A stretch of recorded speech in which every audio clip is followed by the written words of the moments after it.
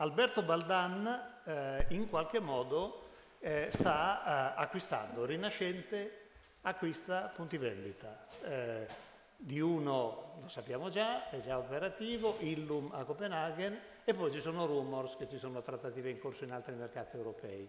Quale sarà il futuro di, del gruppo Rinascente? Buongiorno a tutti. Il futuro di, mm, eh, di Rinascente è quello di aprire nuovi department store, perciò non parliamo di negozi. Se avete visto nella eh, presentazione, eh, nell'ultima presentazione che abbiamo visto, eh, molte volte eh, vengono aperti dei negozi, e stiamo parlando di taglie piccole, poi vengono chiusi, vengono spostati. Per quanto riguarda un department store che ha le dimensioni dai 25 ai 40 ai 50 mila metri quadrati, una volta che si trova la location è quella per sempre. Perciò bisogna stare molto attenti nella, nel trovarla. La storia vedete, tutti i grossi brand eh, internazionali e anche noi qui su Milano e anche sulle altre città in Italia siamo presenti da più di 100 anni, siamo 150 anni nella stessa location.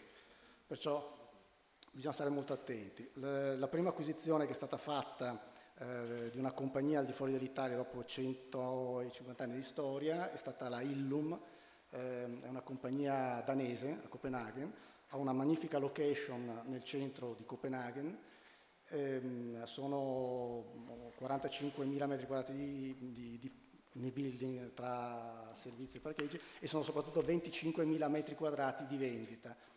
Ehm, nella zona prestigiosa, eh, prestigiosa, dove di fianco sulla strada ci sono già degli altri brand del lusso, diciamo, siamo in buona compagnia perché da una parte c'è il um, Witton e dall'altra uh, c'è, um, Gucci, perciò noi entriamo a portare dentro.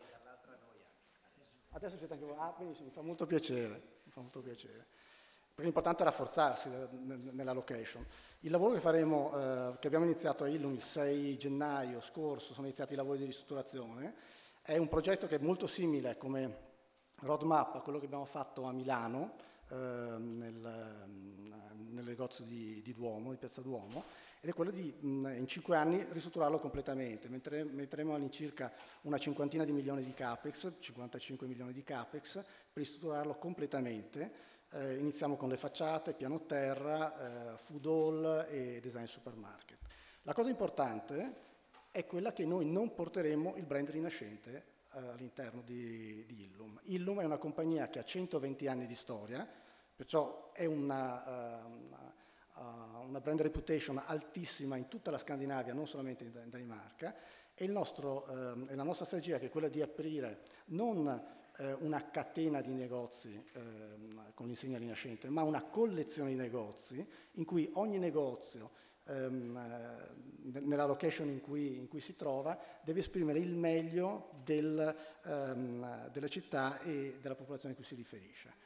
Uh, perciò il negozio di Milano ha una sua connotazione, se voi arrivate a Milano parliamo di design, parliamo di moda, di un, di un food di un certo tipo, ha questa connotazione, il negozio che stiamo costruendo a Roma, in eh, via del Tritone, eh, che apriremo a settembre 2015, un altro flagship di 15.000 metri quadrati, avrà delle connotazioni romane e Illum resterà con il brand Illum e, e dovrà esprimere il meglio della Scandinavia. Mm, il, il, department store è un contenitore, è una destination point cui, che vive con una grossa parte di turisti, e lo l'abbiamo visto prima anche nella, Ehm, nelle, nelle, due ricerche che abbiamo visto, e poi dall'altra parte la parte dei locali. Però le aspettative che ogni parte di clientela sulla, sulla location sono diverse, cioè il uh, travel retailer, il turista che arriva all'interno di un department store cerca il meglio di quello che può esprimere il paese in cui si trova, la città in cui si trova, perciò Milano cerca il meglio del made in Italy, tutti i valori che ci sono. Uh, il cliente invece locale, il, uh, cliente italiano, il cliente milanese, in Danimarca sarà la stessa cosa, cercare invece uno spirito estremamente internazionale per trovare qualcosa che non viene portato dalla, dal retail normale. Perciò il, um, il nostro mestiere tutto sommato è agevolato perché mediamente noi ogni anno ogni stagione cambiamo il 10% di brand o come location o come addirittura nome del brand, perciò un 20% all'anno e per noi è abbastanza semplice cambiare la formula e trovare quella adatta per il, eh, per il cliente in quel momento. Grazie. E sull'online pensate di fare come i vostri colleghi inglesi e investire molto? Allora, noi siamo uh, molto sul, uh, sull'online eh, da diversi anni, ma siamo sulla parte della comunicazione e sulla parte CRM.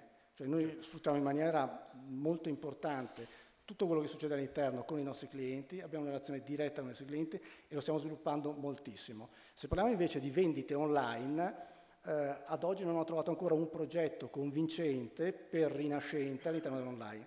Da, eh, comunque non lo sottovalutiamo perché abbiamo aperto un, eh, il nostro sito online proprio in Danimarca, su cui abbiamo iniziato a fare esperienza all'inizio di dicembre. La Danimarca è il paese che ha la maggiore percentuale di vendite online sulla popolazione, perciò è, una, eh, è un paese molto diciamo, ehm, competitivo e molto complicato, pur essendo piccolo, perciò la nostra esperienza è iniziata lì, però ad oggi ehm, è complicato trovare una formula vincente per noi di vendita online, vendendo solamente brand eh, degli altri brand, noi oggi vediamo solamente il 5% come private label, sinceramente credo che andare a vendere il private label non, se, non se dia nulla al mercato. modello dello specialty store che del department store.